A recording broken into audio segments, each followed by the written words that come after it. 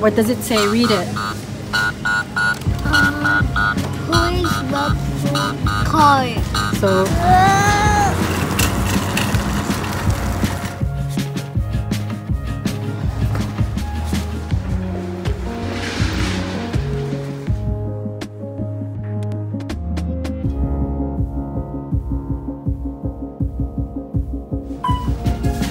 So.